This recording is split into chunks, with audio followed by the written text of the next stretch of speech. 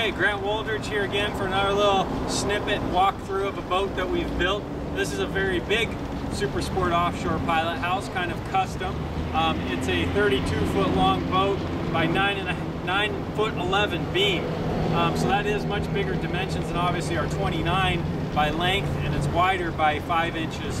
Um, it's also taller. Basically the guy says, I love your 29 and everything about it. I just want it wider, longer, and taller. So that's what we have here.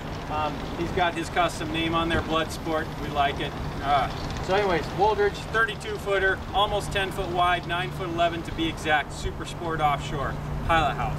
What is unique about it? Well, besides its dimensions, the cabin's much longer than our 29. There's a lot of space inside, which I'll show you in a minute.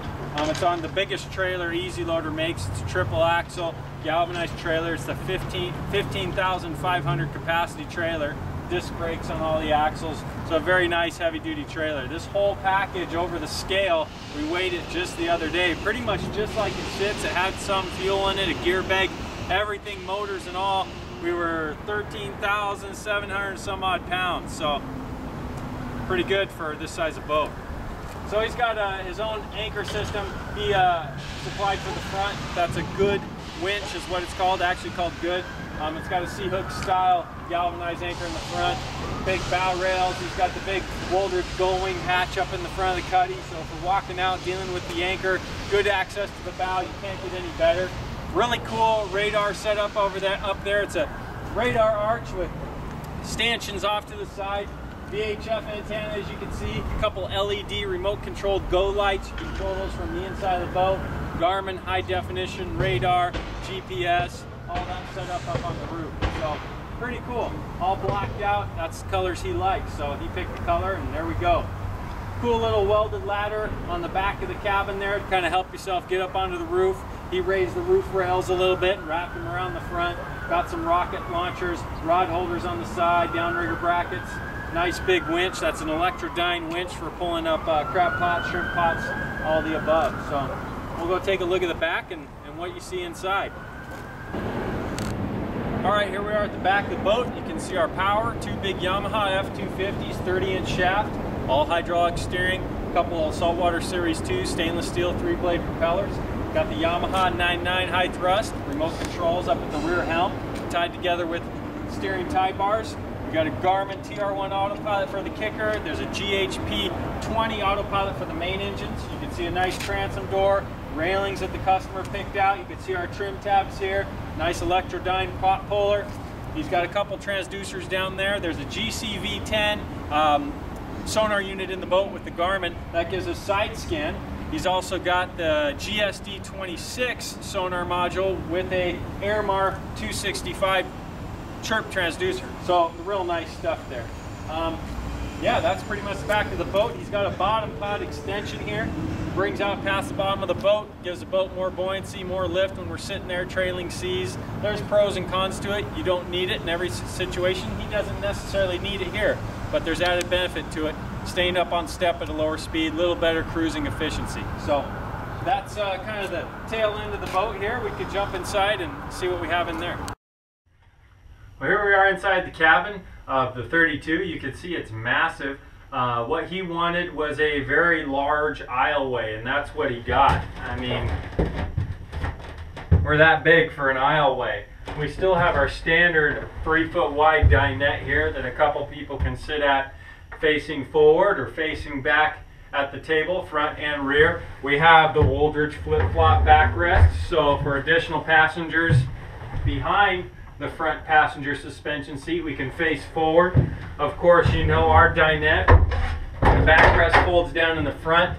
There's a gas shock. This table drops down and I have a big cushion that goes on here. This turns into a seven and a half foot bed. So we have a huge bed there, not counting the one up inside of the cuddy. Lots of storage in the boat, as with all of our boats. Of course, under both the big boxes of the dinette under the bottom of the dinette. In the floor, there's multiple storage hatches. You can see quite a few of those there. Huge countertop. I'll give you another view of this in a second. But we have a Wallas Nordic DT cooktop, diesel or kerosene. Um, there's also an oven in this boat, a Wallas oven.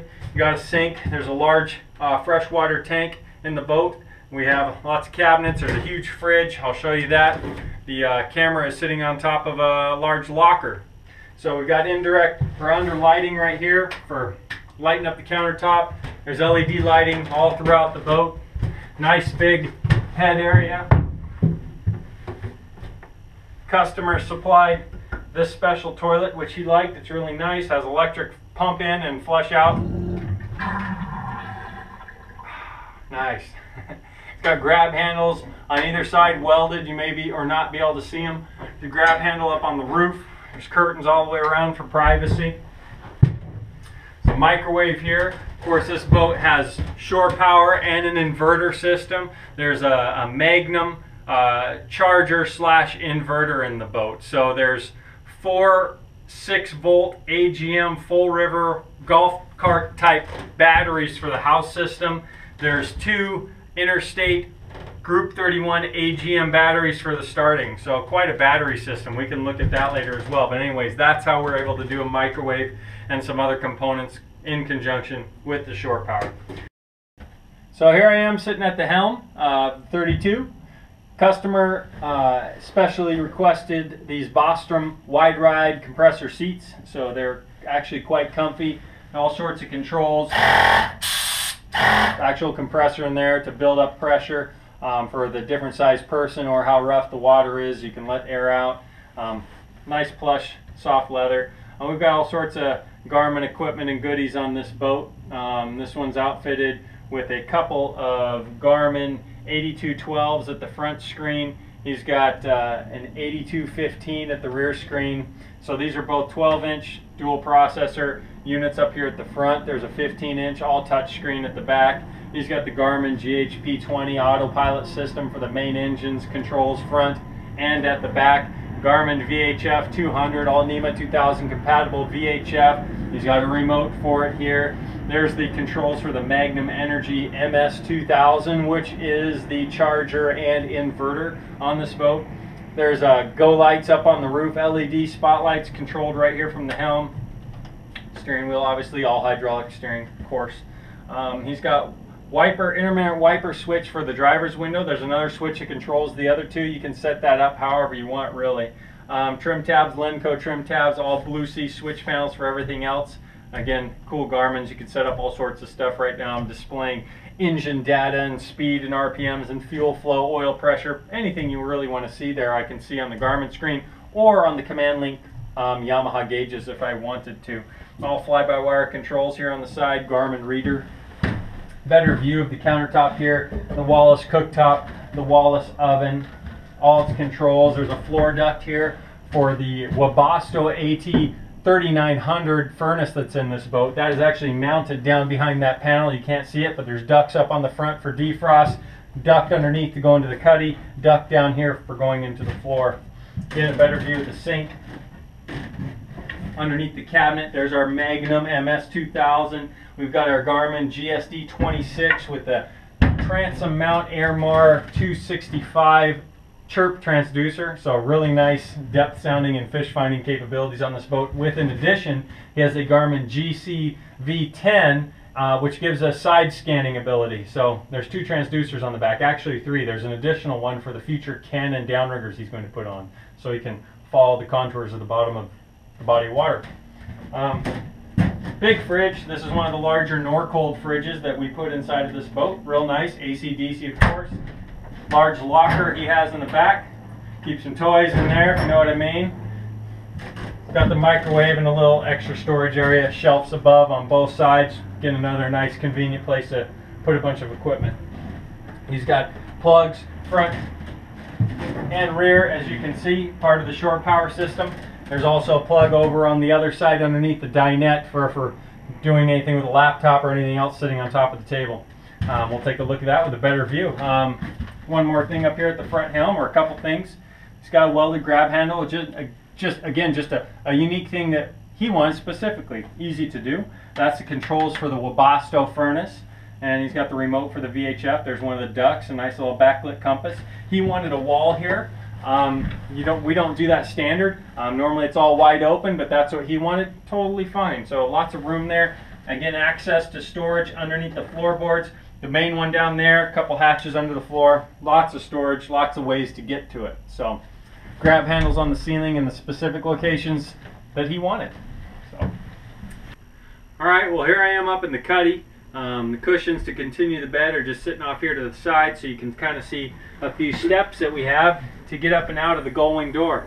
Opens up with nice gas shocks, so getting in and out is nice and easy if we need to get out and deal with the, the rope or the chain, or if you had a bow pulpit on the boat, this one does not. If you did with our ladder, you could go right out, pull up to a beach, get on and off really nice. You can see the next duct there for the Webasto, so if we're sleeping, we can have one aimed at us. Again, nice windows all the way around the boat, boat nice bolted in windows. They are locking, sliding, screened windows, diamond sea glaze, nice stuff.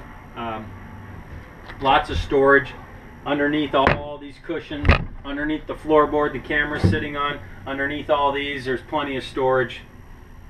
As far as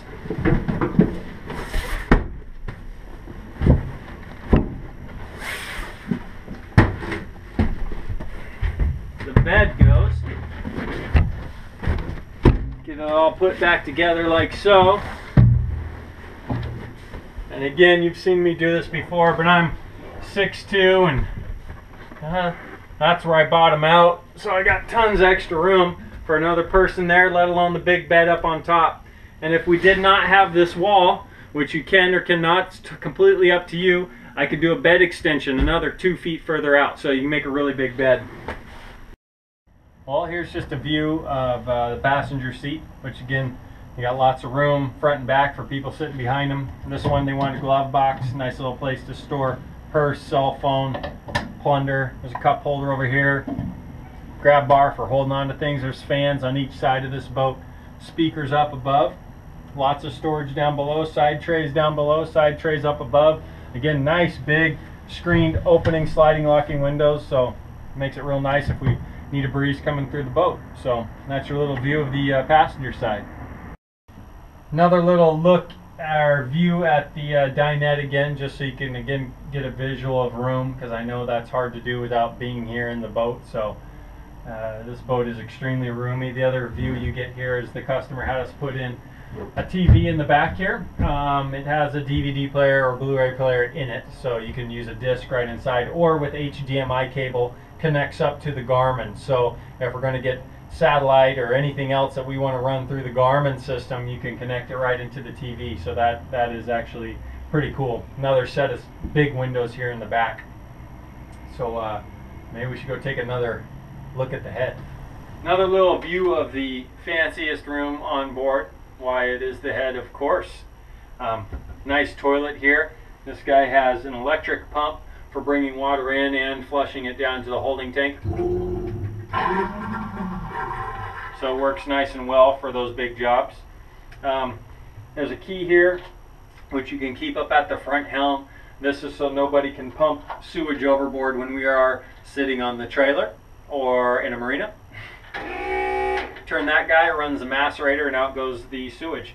Uh, the floor in this particular boat, it's got an aluminum floor with rolled on non-skid, a drain in the floor. This guy might use some sun showers in this for a shower, which is just fine.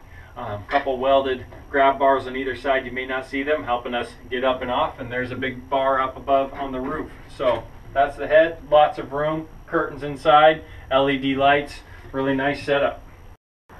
Alright, well here's a little look at the back fishing cockpit tons of room in this boat. It is a self-bailing boat, welded aluminum floors. We've got a roll-on non-skid covering all the floors.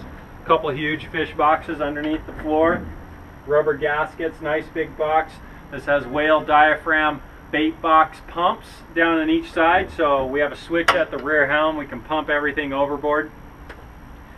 Of course, our boats, as you've seen before, full-length locking rod lockers run all the way up past the cabin wall. Your long rods, you don't have to break them down. We've got a guttered, gasketed lip here, so when we shut things, it seals nice and tight. When we're hosing things down, rods aren't getting soaked with salt water if we're using raw water washdown. You might have wondered what that was. He's got a control for his TR1 autopilot for the kicker. Um, that's where he chose to have it. There's a little antenna here. He has a wireless remote also for that TR1 autopilot. Additional little tray here. There's a tie bar for the kicker engine.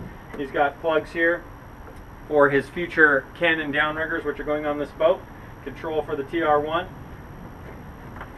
It's got a very large uh, Electrodyne crab and shrimp pot puller. Uh, connections here. This guy is used back here. He also has a storage slot for it up at the front. What you can also see here uh, next to the pot puller is obviously the walk-through transom door. The door swings, locks shut. Got a nice big cutting board lid here. Well, he, he divided it up. We have a divider here. He's got a huge sink on both sides. This side he has wash down hose in and the spigot so he can fill that up with water, keep some crab fresh, do whatever he wants to do there. Um, got a nice backsplash which drains over the back. Three big uh, doors in the transom here. This basically gets us to our bilge, our pumps, our fuel water separators, batteries, all that type of stuff. Battery switches, different Blue Sea electrical components. This boat's got a serious uh, battery system, as I may have mentioned.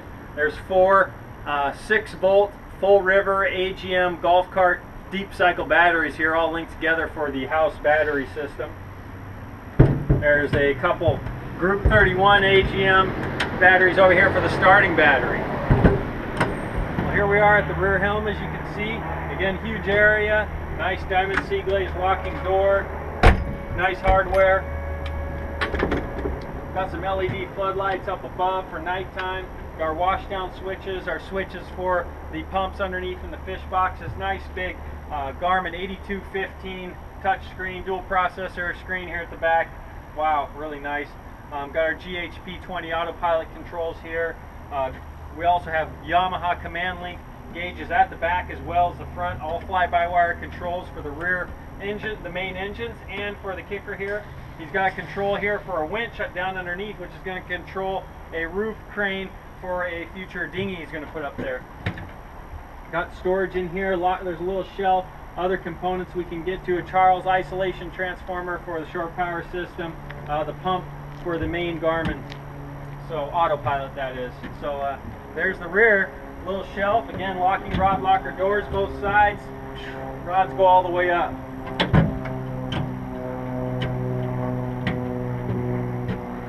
That's the lowdown.